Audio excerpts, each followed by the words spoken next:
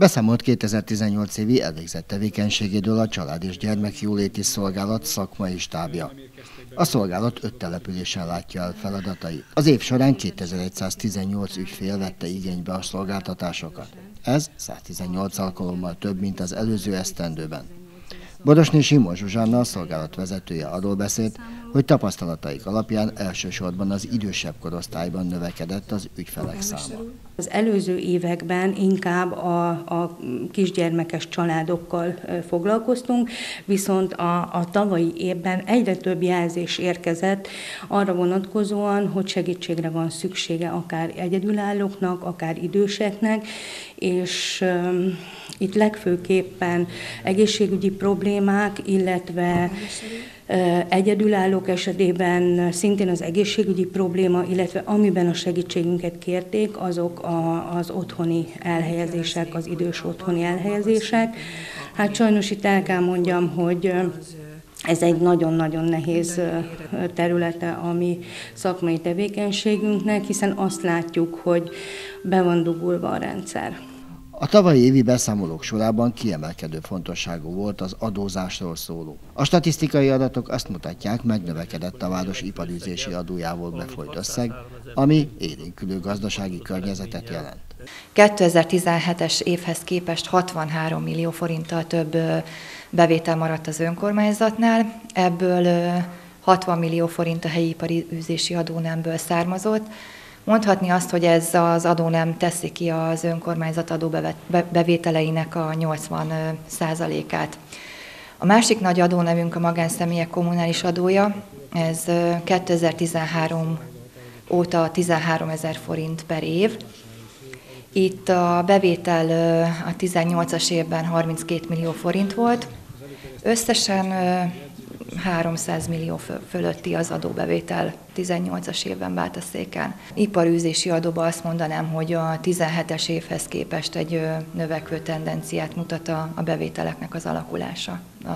Az általunk beszedett adóból ugye tud az önkormányzat költekezni, tehát beruházásokat megvalósítani, intézményeket fenntartani.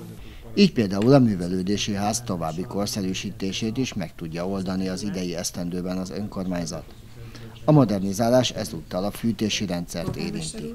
Ami azt jelenti, hogy az első ütemben a színházterem, irodahelység, illetve egyéb helységeknek a, a fűtése lesz megújítva, így gyakorlatilag egy új gázkazán kerül elhelyezésre, illetve a régi gázkazán is üzemben marad, a hátsó épületszárnyat fogja ellátni, mert ott a tervek szerint egyéb bővítési munkálatokat tervezünk majd a következő időszakban. Ennek a munkának a bekerülése költsége közel bruttó 12 millió forint. A munkáknak a befejezése az a, a fűtési szezon megkezdésére várható. Ez nagyjából egy szeptemberi kezdést jelez előre. További fűtéskorszerűsítést is tervez a város, a Budai utcában lévő társasházban kezdődhetnek majd meg a munkálatok. A Budai utcában lévő önkormányzati lakásokban a gázkozánok cseréje meg fog történni. Itt egy közel 4 millió forintos beruházás fog lezajlani a Bátkom Kft került megbízásra e tekintetben. A lakók gyakorlatilag egy korszerű gázkazán kapnak, ami a fűtésben ugye egy változás jelent, leginkább ugye a felhasznált gáz vonatkozásában megtakarítást érhetnek el, tehát kevesebb kiadásuk lesz a, gázszámlán. A gondozási központ mellett a város gazdasági társaságai is elkészítették beszámolóikat. Két ilyen gazdasági társaság van. Egyrészt a városüzemeltetési feladatokat ellátó Bátkom Kft., aki amellett, hogy városüzemeltetést lát el, intézmény működtetést végez, sportcsarnokot üzemeltet, tanúszodát üzemeltet, igen szertágazó feladatokat lát el.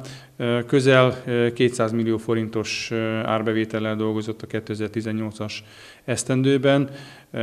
A számok alapján megállapítást nyert, hogy nyereséggel tudta a 2018-as esztendőt abszolválni, mi azt jelenti, hogy stabil pénzügyi és gazdasági háttérrel rendelkezett ebben az esztendőben, és szakmailag elvégezte mindazokat a munkákat, amit a tulajdonos Bátaszik önkormányzata számára meghatározott 2018-ban. A Marketing Kft. is megtette a beszámolóját, ugye ez a gazdasági társaság ebben a ciklusban került létrehozásra. Fő feladata a város közművelés életének szervezése, rendezvények, programok szervezése, városmarketing feladatok ellátása. Stabil gazdasági háttérre volt 2018-ban, nyereséggel tudta zárni ezt a gazdasági esztendőt, és szakmailag úgy ítéltük meg, hogy maximálisan teljesített a gazdasági társaság és természetesen a, a kollégák.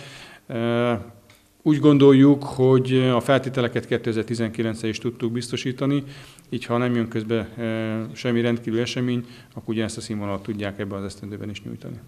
Egy újabb emlékmű felújítására biztosít majd forrásokat a testület. A második világháborúban tragikus körülmények között elhunyt bátaszéki fiatalok emlékművét újítják majd meg, mely egy mezőgazdasági területen áll. A munkálatokra a mezőgazdasági idény befejezése után kerülhet majd sor.